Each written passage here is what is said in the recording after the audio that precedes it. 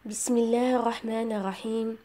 الحمد لله رب العالمين والصلاة والسلام على المبعوث رحمة للعالمين سيدنا محمد النبي الأمي الكريم وعلى آله وأصحابه الطيبين الطاهرين ومن تبعهم وسار على ما ساروا عليه من الهدى والرشاد إلى يوم الدين.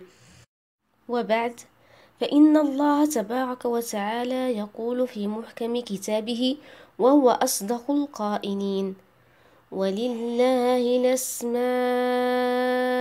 الحسنى فادعوه بها ويقول قل ادعوا الله أو ادعوا الرحمن أيما تدعوا فله الأسماء الحسنى وروي في الصحيحين عن أبي هريرة رضي الله عنه أن رسول الله صلى الله عليه وسلم قال إن لله تسعة وتسعين اسما مئة إلا واحدة من أحصاها دخل الجنة.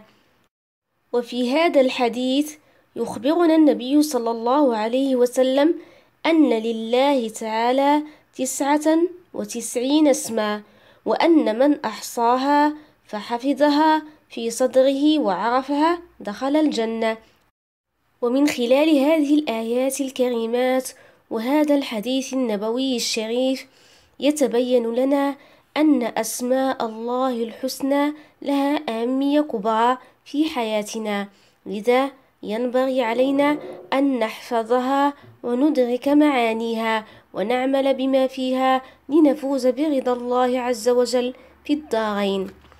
وقد سماها الله عز وجل الأسماء الحسنى لدلالتها على أحسن مسمى وأشرف مدلول. ولذا يتوجب علينا أن نؤمن بأسماء الله الحسنى الإيمان الكامل لما فيها من الفوائد الجليلة التي يكتسبها المسلم من خلال الإيمان بهذه الأسماء. وهذه الفوائد كما يلي أولا التعرف على الله عز وجل.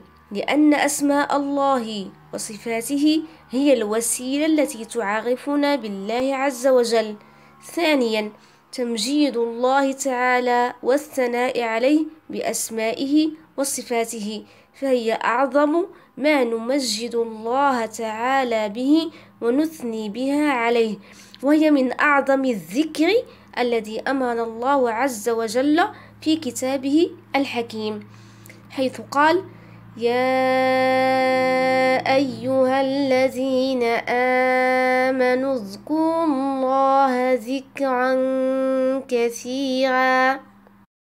ثالثا دعاؤه عز وجل بأسمائه وصفاته الحسنى كما قال عز وجل ولله الأسماء الحسنى فادعوه بها وفي هذه السلسلة المباركة سنحاول إن شاء الله تعالى أن نبين معاني أسماء الله الحسنى واحدا تلو الآخر.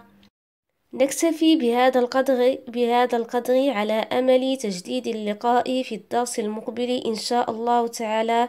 سبحان ربك رب العزة عما يصفون وسلام على المرسلين والحمد لله رب العالمين.